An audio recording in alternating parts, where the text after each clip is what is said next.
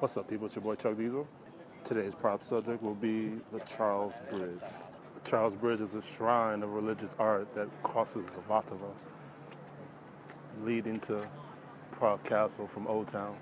So the people come in swarms from Old Town after like a logical clock, and this is the uh, start of the bridge.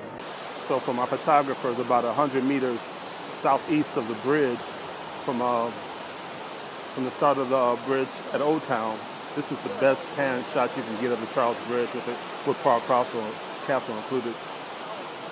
Statue of Karel Čtvrtý, Charles IV for us. Always packed.